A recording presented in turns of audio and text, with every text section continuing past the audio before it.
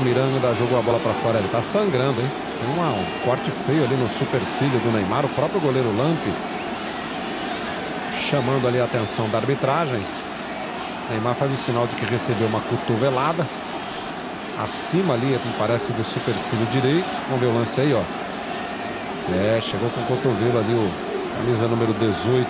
Cotovelo um pouco alto do Duque e acabou atingindo o Neymar, que imediatamente ficou no chão ali. Achou que houve maldade ali, Edinho? Não? Ô, Milton, eu não achei que houve maldade, não. Achei que realmente ele entrou com o braço justamente para se proteger e não deixar o Neymar, se realmente é, tirar essa bola, progredir, iria fazer a falta.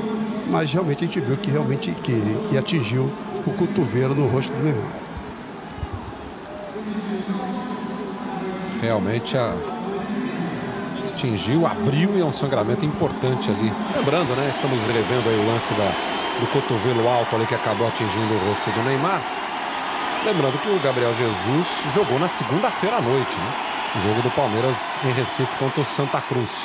Foi o último a se apresentar, inclusive.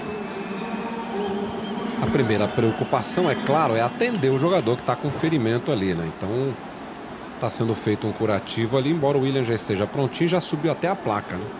Embora num deles estivesse em posição de impedimento. Na verdade foi sai aplaudido depois e aplaudindo né, o Neymar. Portanto, William